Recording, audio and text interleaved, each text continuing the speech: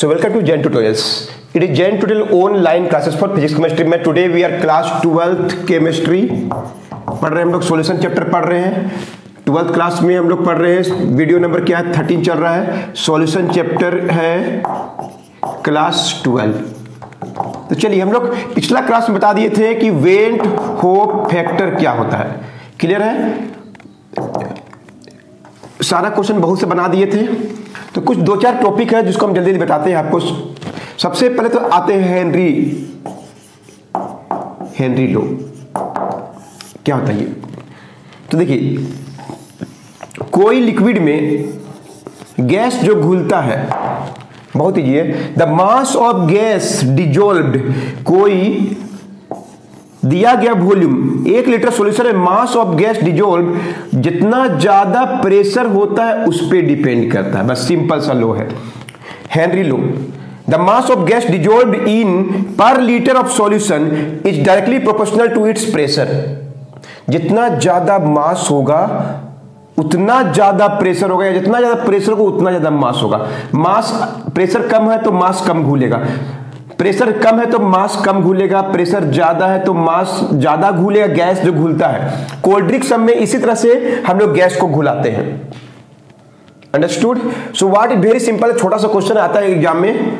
The mass of gas dissolve घुलता है।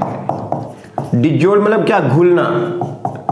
कौन घुलता है? The mass of gas dissolve in a liquid per litre, एक लीटर लेना है। इज़, क्या होगा? Directly proportional to its what pressure. जितना ज़्यादा प्रेशर होगा गैस का, उसमें उतना ज़्यादा मास घुलेगा। इस बात को सबसे पहले हेनरी ने बताया था। तो इसका नाम पड़ गया Henry law. The mass of gas dissolve in a liquid per litre is directly proportional to its pressure mass of gas depend करता है प्रेशर पे डिपेंड करता है। जिसे बोलेंगे यहाँ पे। किसी गैस का एक लीटर सोल्यूशन लिए, ठीक है? एक लीटर लिए हैं। प्रेशर यहाँ पे वन एटीएम है। फिर वहीं पर, यहाँ पर भी एक लीटर सॉल्यूशन लिए हैं। किसी गैस का प्रेशर, मान लीजिए टू एटीएम है तो प्रेस गैस का जो प्रेशर है, यहाँ पे कम है। प्रेशर यहाँ पे कम है तो मास भी गैस का जो घूलेगा वो क्या होगा? कम होगा। प्रेशर यहाँ पे बढ़ा के ज़्यादा कर दिए टू एटीएम कर दिए। प्रेशर थोड़ा बढ़ा के क्या कर दिए? टू एटीएम कर दिए। तो मास ऑफ़ गैस जो घूलेगा, वो भी क्या होगा? ज़्यादा होगा। तो mass of gas per litre जो घूलता है, वो डिपेंड करता है। उसका प्रेशर पे डिपेंड करता है। So the mass of gas dissolve is directly proportional to its pressure बस इतना सा हेनरी लो। और इसका यूज़ कहा क्या था? बहुत सा यूज़ बुक पढ़ लीजिएगा। एक लिख दे रहे हैं। Use the carbonic gas carbonic gas is dissolved in cold drinks by this law Henry law को यूज़ करके ही कोल्ड ड्रिंक में हम लोग गैस को घुला सकते हैं। तो ये था Henry law understood Raoult's law पढ़ लिए हेनरी लो पढ़ लिए कोलिगेटिव प्रॉपर्टी बता दिए वेंट ऑफ़ फैक्टर से बता दिए। कोई डाउट नहीं हो रहा होगा। आइए और भी एक दो क्वेश्चन बताते हैं आपको।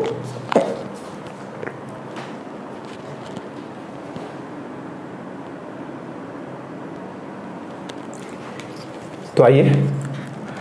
थोड़ा और एक छोटा सा क्वेश्चन। क्या होता है आइसोटोनिक सॉल्यूशन? आइसोटोनिक सॉल्यूशन किसको बोलते हैं? दो सॉल्यूशन का अगर सेम टेम्परेचर में सेम कॉन्सेंट्रेशन सेम कॉन्सेंट्रेशन बोलेंगे ना, ये भी टू बाई थ्री एम है और ये भी टू बाई थ्री एम है। भले ये सॉल्यूशन एस है, ये H two S O four है temperature fix twenty five degree में लिए, कोई भी टेम्परेचर लीजिए। अगर दोनों का सेम कॉन्सेंट्रेशन या सेम ओस्मोटिक प्रेशर तब ये दोनों सॉल्यूशन क्या कराते हैं? आइसोटोनिक सॉल्यूशन करते हैं। कहते हैं the two solutions having same. क्या हो? कॉन्सेंट्रेशन समान कॉन्सेंट्रेशन हो।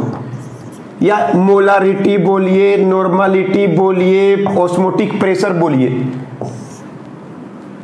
एट ए गिवन टेम्परेचर कोई गिवन टेम्परेचर में the two solutions having same concentration concentration क्या होता है? Molarity normality osmotic pressure at a given temperature अगर सेम होता है then the solution then the solutions are called क्या बोलते हैं इसको हम लोग? Isotonic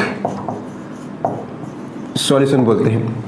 The two solution having same concentration like molarity normality osmotic pressure at a given temperature the तो दो सॉल्यूशन का सेम कॉन्सेंट्रेशन होता है, जैसे इसका मोलारिटी कितना है? टू बाई थ्री इसका भी मोलारिटी क्या है? टू बाई थ्री सोल्यूशन ये एच टू एस फोर है, ये एस सी एल है टेम्परेचर सेम होना चाहिए। तो ऐसे सॉल्यूशन को बोलते हैं isotonic solution clear same concentration तो बोलते हैं आइसोटोनिक तो ये दोनों सॉल्यूशन क्या कहलाएँगे? आइसोटोनिक सॉल्यूशन कहलाएँगे. अंडरस्टूड बच्चों, समझ में आ रहा सब कुछ? क्या क्या पढ़ा दिए? हेनरी लोग क्या होता है? आइसोटोनिक सॉल्यूशन क्या होता है? बता दिए. वीडियो को पॉज करके नोट करिए. तो इस तरह से क्या है? आइसोटोनिक सॉल्यूशन बता दिए. क्लियर है? अब आइए. हाइपरटोनिक एंड हाइपोटोनिक नाम से आंसर देखिए. हाइपर मतलब ज़्यादा.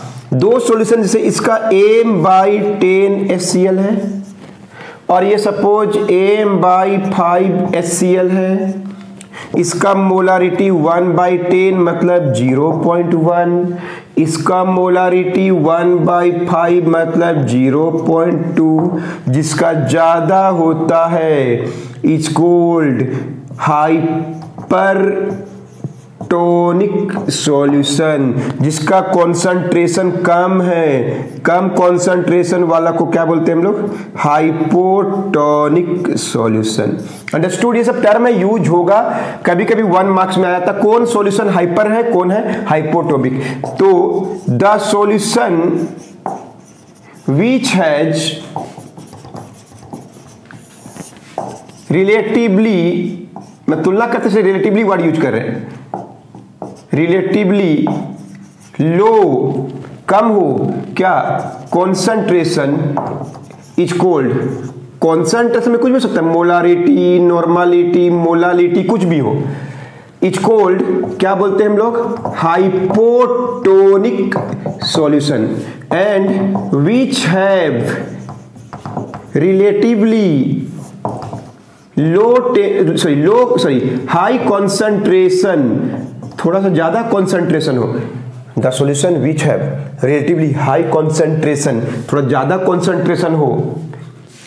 इच कोल्ड क्या बोलते हैं उसको हम लोग? क्या बोलते हैं स्टूडेंट्स हाइपर टोनिक सॉल्यूशन ये सब क्वेश्चन वन मार्क में आ सकता है। तो दो सॉल्यूशन कुछ भी हो अलग अलग हो एक हाइपर होगा और एक हाइपो होगा। हाइपर किसको बोलते हैं? जिसमें कॉन्सेंट्रेशन ज़्यादा हो। जिसका कम होता है, उसको क्या बोलते हैं? हाइपोटोनिक सॉल्यूशन बोलते हैं। तो इन सब बात को नोट कीजिए और बता रहे हैं आपको। तो हाइपरटोनिक क्या है? हाइपोटोनिक क्या है? आइडियल सॉल्यूशन क्या है? नॉन आइडियल सॉल्यूशन क्या है? पहले ही डिस्कस कर चुके हैं। तो और इसके पहले हेनरी लो। आइए, एक टॉपिक और देखिए।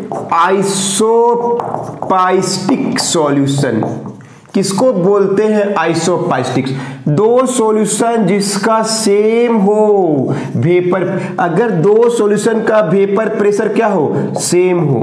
दो सॉल्यूशन का वेपर प्रेशर अगर सेम होगा तो ये दोनों सॉल्यूशन क्या कहलाएँगे? आइसो मतलब सेम पाइस्टिक सॉल्यूशन कहलाता है। जैसे बोलेंगे, इसका vapour pressure P is equal to 200 millimetre of H है एट 25 डिग्री सेल्सियस में। अगर इसका भी वेपर प्रेशर क्या हो 200 मिली, अलग सॉल्यूशन है। ये सॉल्यूशन अलग है। सपोज़ इसमें यूरिया घुला हुआ है, इसमें ग्लूकोज घुला हुआ है तो इसका vapour pressure 200 M M of क्या है? एच जी है। एट कितना में? 25 डिग्री सेम टेम्परेचर में अगर सेम वेपर प्रेशर होता है तो दोनों सॉल्यूशन को क्या बोलेंगे हम लोग? Isopiestic solution the solution the two solution having same vapour pressure. The two solution having same vapour pressure. दोनों का वेपर प्रेशर सेम हो। At a given temperature at a given temperature is called क्या बोलते हैं इसको हम लोग? Iso पाइस्टिक solution तो ये दोनों सॉल्यूशन का अगर वेपर प्रेशर सेम है तो क्या बोलेंगे ये? आइसोपाइस्टिक सॉल्यूशन है अंडरस्टूड समझ में आ रहा है? एकदम अच्छा से कोई डाउट नहीं हो रहा है? नोट कर लीजिए। वीडियो पॉज करके नोट कर लीजिए। तो आते हैं, पढ़ते हैं एजियोट्रॉप्स। क्या होते हैं एजियोट्रॉप्स? अगर द मिक्सचर ऑफ़ लिक्विड दो या दो से अधिक अलग अलग तरह के लिक्विड को क्या कीजिए? अलग अलग लिक्विड को मिक्स कर दीजिए। बॉइल करें एट कांस्टेंट टेम्परेचर मतलब इसका जो टेम्परेचर है बॉइलिंग पॉइंट और इसका जो टेम्परेचर है बॉइलिंग पॉइंट का, उसी टेम्परेचर में अगर मिक्सचर बनाने के बाद भी वो अगर बॉइल करते हैं, है कि नहीं? अगर वो बॉइल करते हैं, या सेम वेपर प्रेशर वेपर का रूप में आ जाते हैं। अगर सेम टेम्परेचर में दोनों लिक्विड अपना कांस्टेंट टेम्परेचर से, जैसे L1 है L2 है। L1 अगर 100 डिग्री सेल्सियस इसका बॉइलिंग पॉइंट है, और L2 का बॉइलिंग पॉइंट मान लीजिए 120 डिग्री सेल्सियस है। दोनों को मिक्स करने से अगर दोनों कांस्टेंट टेम्परेचर में, मान लीजिए कि 110 डिग्री में दोनों अगर वेपर का फ़ेज़ बनना चाहते हो भेज बनते हो सॉरी वेपर फ़ेज़ वेपर की अवस्था में आते हो, या सेम बॉइलिंग पॉइंट होता है। अगर दोनों लिक्विड को मिलाने से सेम बॉइलिंग पॉइंट हो रहा है तो ये दोनों लिक्विड क्या कहलाएँगे? का मिक्सचर एजियोट्रॉप्स कहलाएगा। एजियोट्रॉप मिक्सचर है। जब दो लिक्विड को मिक्स करते हैं एट कांस्टेंट टेम्परेचर है कि नहीं? तो अगर उनका कंपोजिशन लिक्विड हो या वेपर हो सेम टेम्परेचर में अगर ये उबलेगा, जैसे अपने उबलता है 100 डिग्री में अपने उबलता है 120 मिला दिए तो 110 में। अगर कांस्टेंट टेम्परेचर में दोनों लिक्विड अगर उबलता है या कांस्टेंट टेम्परेचर में दोनों वेपर बनता है, तब उसको बोलते हैं हम लोग एजियोट्रॉप्स। अंडरस्टूड इसको भी नोट कर लीजिए। तो इस तरह से सॉल्यूशन के बारे में जितना भी पॉसिबल जानकारी आपको दे दिए, सारे फार्मूला जो जो यूज़ होगा, एक बार हम फिर से एक जगह लिख ले रहे हैं, जिससे कि आपको कोई डाउट नहीं हो। क्लियर है? तो इस बात को वीडियो को पॉज करके नोट कर लीजिए। वीडियो को पॉज करके नोट करिए